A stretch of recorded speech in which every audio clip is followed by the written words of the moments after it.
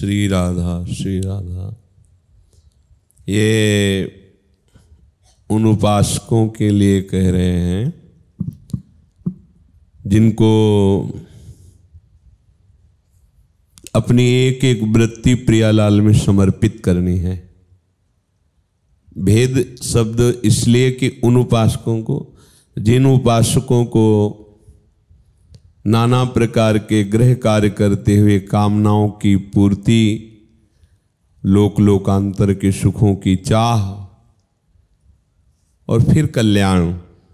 एक अलग कोटि की उपासना की स्थिति है, पर ये जो हम चर्चा कर रहे हैं, उन उपासकों के लिए कर रहे हैं, जिनका सीधा लक्ष्य है समस्त कामनाओं को मिटाकर एकमात्र प्रिया प्रीतम के समीप पहुँचना। इसलिए बहुत ध्यान से सुनिएगा। अपनी एक एक वृत्ति को प्रभु में करना बहुत कठिन कार्य है।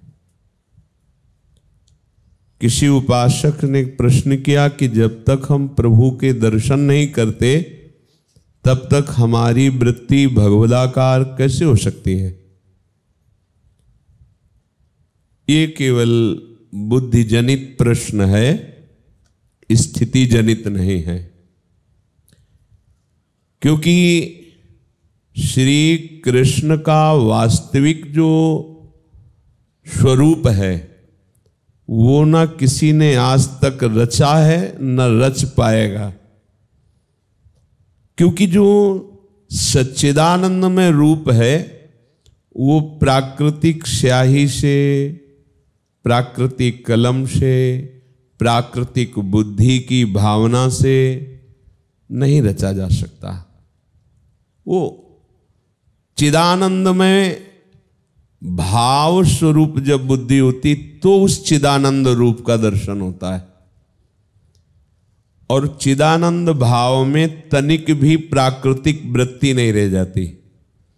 ना किसी विषय की, ना देह की न लोक की, न परलोक की, बस एकमात्र वही प्रभु रह जाते हैं।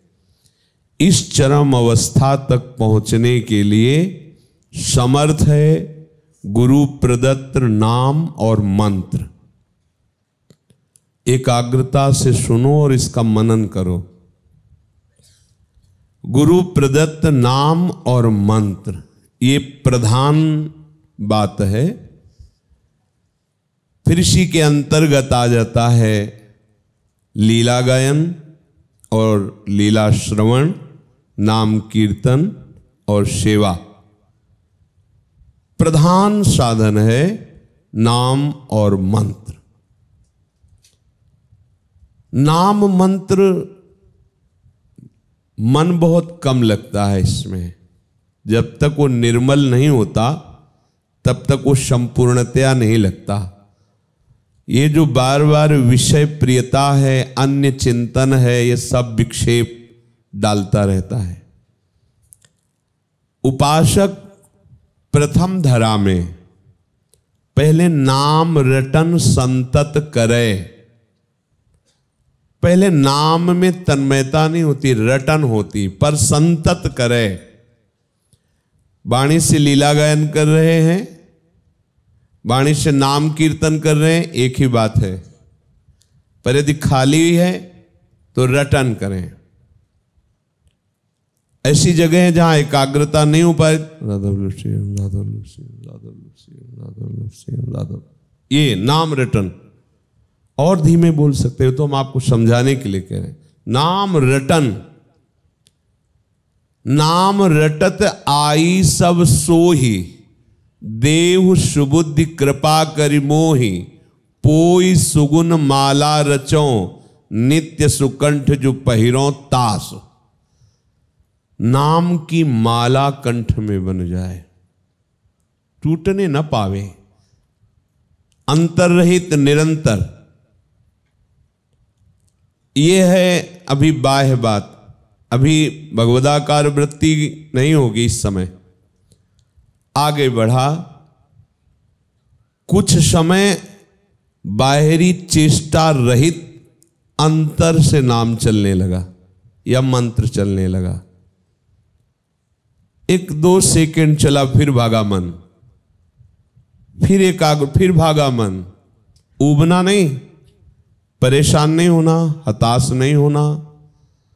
जो उपासक धैर्यपूर्वक इंद्रियों को संयम में रखने वाला लक्ष्य प्रिया प्रीतम की प्राप्ति, वो बार बार प्रयास ऐसा करेगा।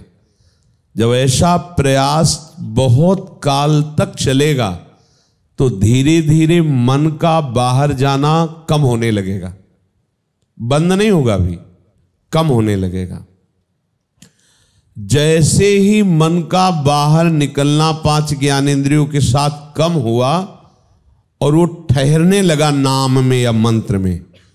तब ठहरना माना जाता है, जब शरीर की भी शुद्धि नहीं है, मैं जप रहा हूँ, ये भी शुद्धि नहीं है, केवल नाम छाया हुआ है। ये चाहे एक सेकंड के लिए या दो सेकंड के लिए या पाँच सेकंड के लिए आपका अभ्यास जितना सफल हुआ है, चल रहा है। दिमाग में, नेत्र में सब जगह नाम छाया है। सुन रहे हैं, देख रहे हैं, चिंतन कर रहे हैं। मैं कर रहा हूँ, ये भी नहीं है इस, ये भी स्मृति में नहीं कि मैं कर रहा हूँ। बस नाम चल रहा है। फिर वो बाह्य दशाएँ फिर वो समेट रहा है वृत्तियों को। फिर कभी एक सेकंड के लिए अंदर डूब गया। फिर अभी भगवदाकार नहीं हुआ। अब ये अधिक टिकने का अभ्यास उसका जब पढ़ने लगा, फिर ऐसा हुआ कि मिनटों में उसकी पहुँची। एक मिनट, पाँच मिनट, दस मिनट। दस मिनट सुधी नहीं, मैं कौन हूँ, कहा हूँ? केवल नाम चल रहा है। अब रूप प्रकाशित होगा।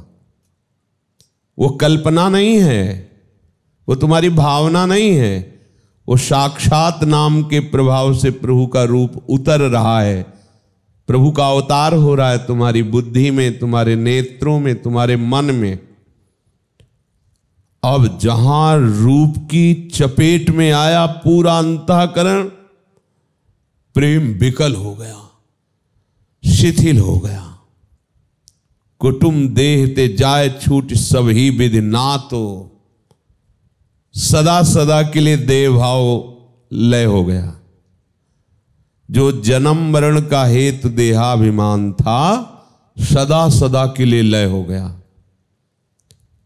अब तो ऐसी आंतरिक स्थिति रहती है उस उपासक की कि बाहर बर्ताव करता, चेष्टा करता हुआ भी, जैसे सुषुप्ति में आपको देह भान नहीं रहता, सुषुप्ति में आपको अज्ञान की धरा में बाहर चेतना नहीं रहती ऐसे संपूर्ण चेतना होने पर, उसे बाह्य चेष्टा करने पर भी विस्मृति नहीं होती।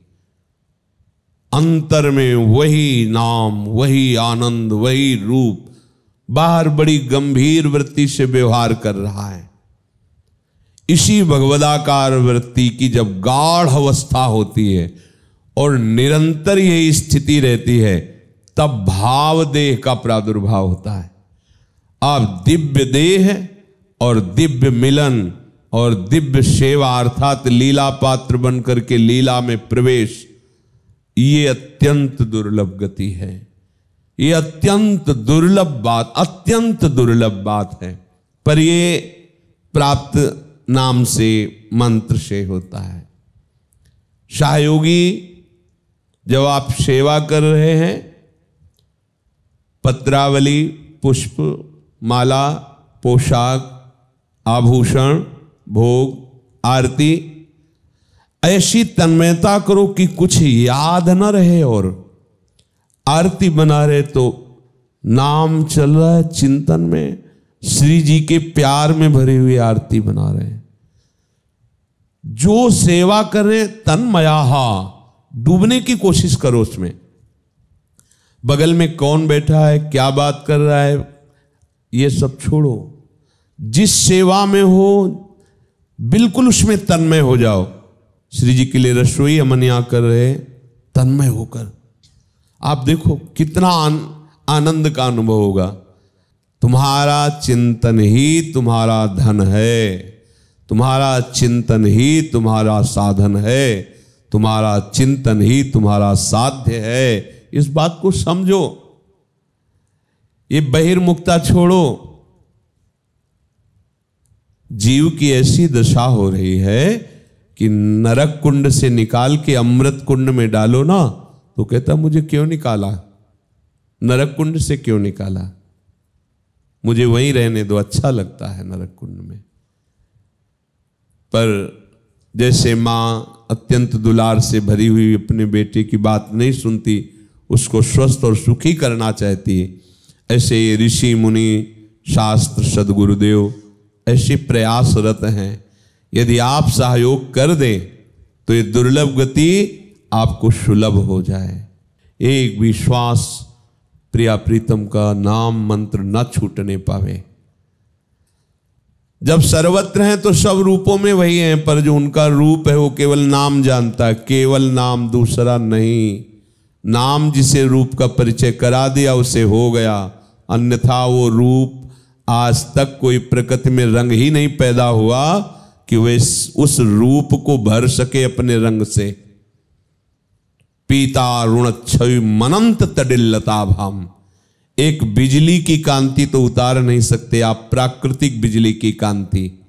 फिर अनंत बिजलियों की कांति पीत और अरुणिमा लिए हुए श्री प्यारी जू के श्रीअंग की कांति या प्यारे जू के श्रीअंग की कांति कैसे उतार सकते हैं? वो नाम देगा वो नाम वो नाम रूप लाएगा। हमारा परम विश्राम तन्मयाहा इस शब्द पे है तन्मयाहा। हम श्री जी की सेवा में तो बस सेवा में ही हैं हम। नाम है नाम में ही है मन, मंत्र में ही। नृत्य कर रहे तो सामने कर रहे प्रिया प्रीतम है सामने। गा रहे तो उनको हम रिझा रहे सामने वो सुन रहे हमारे बैठे। ये कोई बहुत दुर्लभ बात नहीं है क्योंकि वो हैं, वो सत्य है, सर्वत्र हैं। तन्मया स्थिति क्या है, इसका साक्षात्कार तो करो। एक एक वृत्ति जिधर लगाओ, जिधर का मतलब सेवा, नाम वाणी गुण कीर्तन, गुण श्रवण या व्यवहार में भी तो सब में भगवत भावना करते हुए, अपने राधा वल्लभ लाल को दृष्टि में रखते हुए, उन्हीं की प्रसन्नता के लिए बात करना, सेवा करना, आदर करना, हमारी दृष्टि में एक का ही आदर होता है केवल राधा वल्लभ लाल का। हम एक से ही बात करते हैं केवल राधा वल्लभ लाल से। एक से ही लड़ना, झगड़ना, प्यार, दुलार, रोना, धोना एक से ही है। दूसरों न कोई। अब ये स्थिति बहुत काल, ये सब बातें छोड़ो। आज, अभी, इसी क्षण, ऐसी तन्मयता बनाओ कि हम प्रिया लाल से अलग हैं, ऐसा भाव ही खत्म हो जाए। इसलिए यल्लब्धा। पुमान सिद्धो भवती, अमृतो भवती, तृप्तो भवती निर्द्वंदो भवती। हाँ जिसको प्राप्त करके तृप्त हो जाता है, निर्द्वंद हो जाता है, गुणातीत हो जाता है। कोई शोक, कोई चिंता, कोई चाह, कोई भय नहीं, वो अंदर ही है आपके। चिंतन। एक एक वृत्ति तुम्हारी। अब इसका तो अभ्यास किया नहीं। अभ्यास किया है बाहर बहिर्मुख विषयों को देखना, विषयों को भोगना, विषयों के प्राप्ति के लिए रोना। कोई एक रो के सामने पड़ किसी ने कहा कि देखो उसकी श्रद्धा। अरे उसकी श्रद्धा विषयों के लिए, प्रियाजू के लिए नहीं है। प्रियाजू के लिए नहीं रो रहा। वो चाह रहा है कि कृपा दृष्टि करो। मेरी कामना की पूर्ति हो जाए। हो जाएगी अखिल कुल ब्रह्मांडों के साहब के दास के सामने गिरे हो, देख लेगा। ये साधु संघ का फल नहीं।